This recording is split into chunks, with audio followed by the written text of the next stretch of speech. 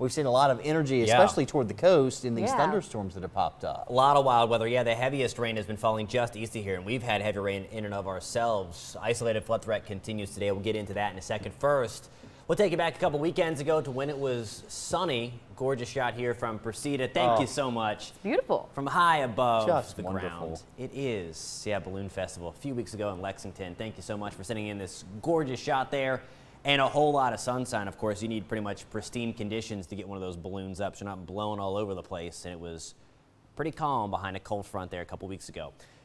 Temperatures in the 60s and 70s right now. It is muggy. Most of us, though, are dry. So if you're looking for a dry opportunity to run to the car or to walk the dog this morning, I think you'll have several minutes to do so, really more than that. And I think we're going to be dry through much of the next couple of hours. Again, the showers we've been tracking.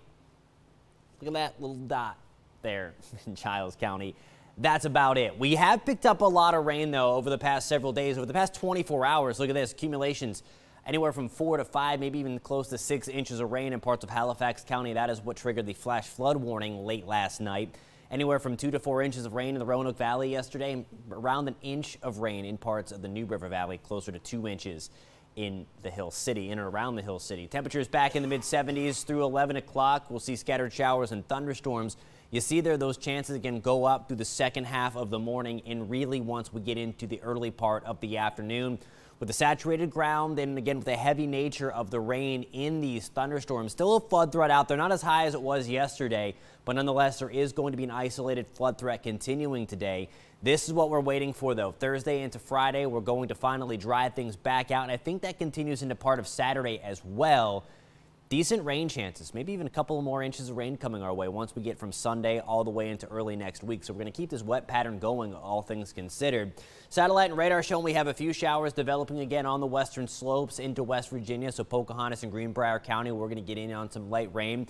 In the short term, maybe a stray shower trying to push into downtown Danville. Otherwise, most of us are dry this morning.